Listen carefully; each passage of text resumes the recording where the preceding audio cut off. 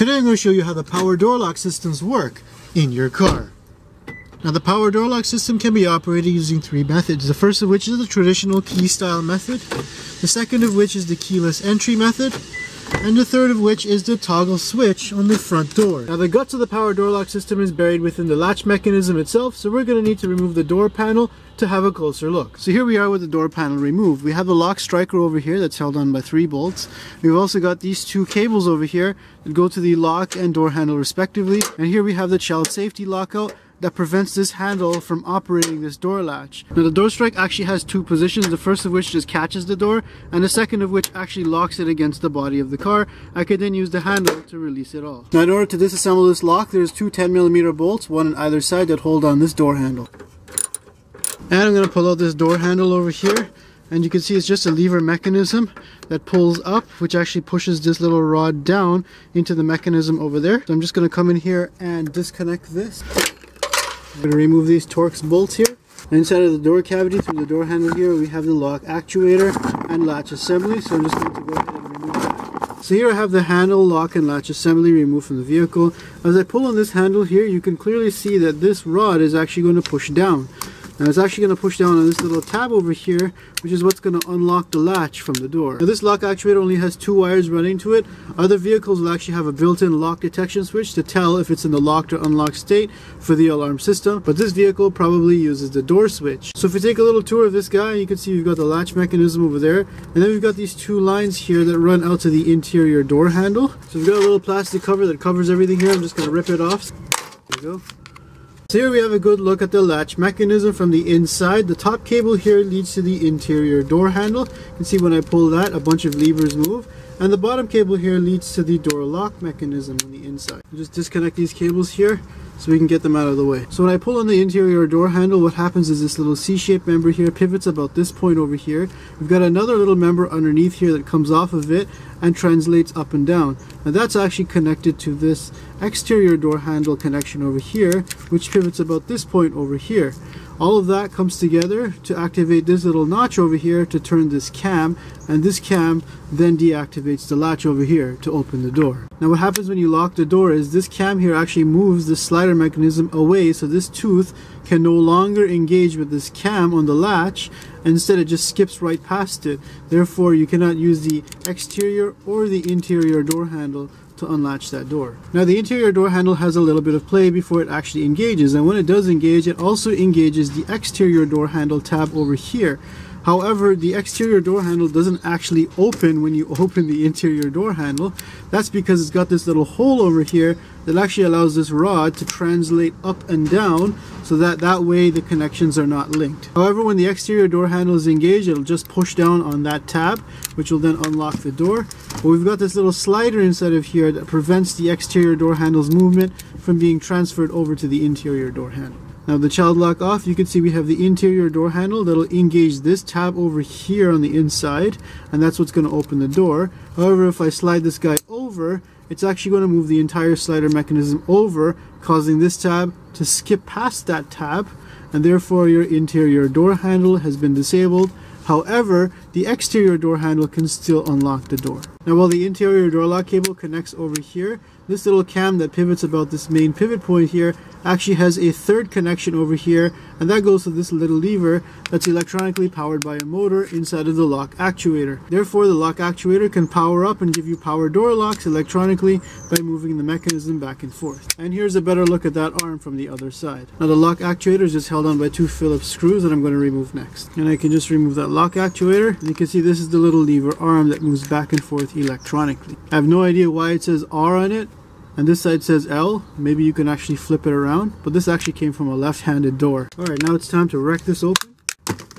Now inside of the actuator you can see we have a standard 12 volt DC motor that has a spiral gear that turns this helical gear over here.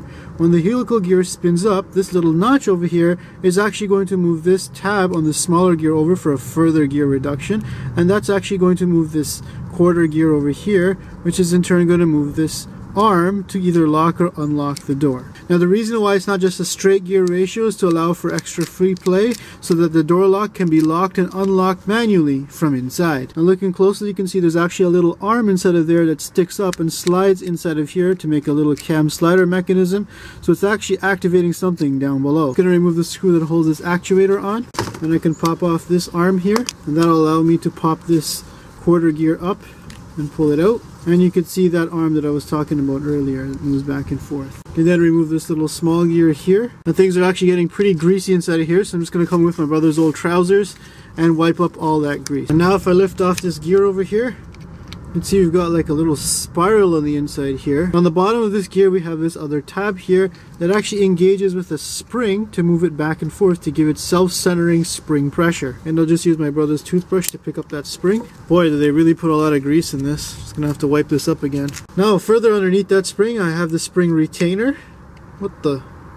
There's actually electrical contacts underneath. So much grease on here, I don't even know how these contacts will actually conduct. This is basically the moment where I have no idea what's going on inside of here and why Nissan's chose to do this kind of design over just a thermistor. So how all this works together is we've got the motor over here that's powered by this little circuit going on inside of here. There's actually two diodes inside of here.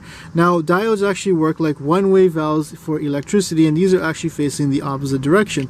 So if we have positive polarity current flowing in through here, it's going to go through this diode over here and sit over here waiting for this little piece to bridge the gap between these two contacts over here. Now this piece with the contacts on it is actually locked to this quarter gear over here and is related to the position of the lock itself. So for example, if it's sitting on this side, it's in the unlocked state. It's going to bridge the gap between here, turning the motor backwards. That's then in turn going to turn this helical gear against the spring pressure and then turn the lock to the locked state, which is going to move it back over to this part. Now these contacts have then moved to the lock position and are now bridging the gap over here and have unbridged the gap over here causing an open circuit and the motor to come to a complete stop in the lock position. Now when you want to unlock it you send positive polarity over to this part which is going to go through the motor, through the diode and sit over here and as long as this piece is sitting in its lock position this gap is going to be bridged.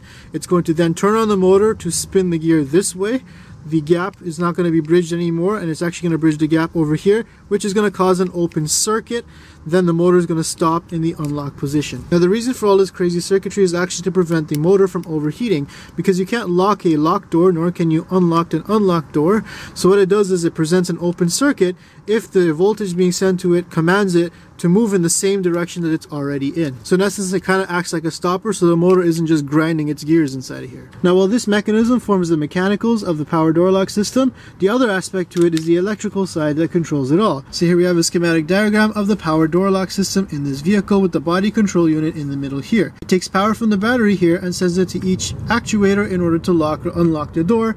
Interestingly, it also unlocks the fuel lid actuator. This is all dependent on the position of the lock and unlock switch on the driver or passenger door. It also interfaces with the door switches on each door to know if they're open. Here we have the body control unit and it's responsible for controlling the entire door lock system as well as other body functions. It's typically located underneath the dashboard where the fuse box is. We've also got the remote control receiver which will receive commands from the keyless entry and send it over to the body control unit which will then control the door locks accordingly. Now with the keyless entry we have the receiver that feeds the body control unit over here and it then sends signals out to the power window and door lock systems respectively. Now because this has trunk and panic functions it also interfaces with the trunk the horn, and the lights as well. So the next time you lock or unlock your car doors, think of all the components that are inside to make it work. Make sure you follow me on Instagram for more behind the scenes footage and subscribe for more videos just like this one. Oh shoot, I locked my key in.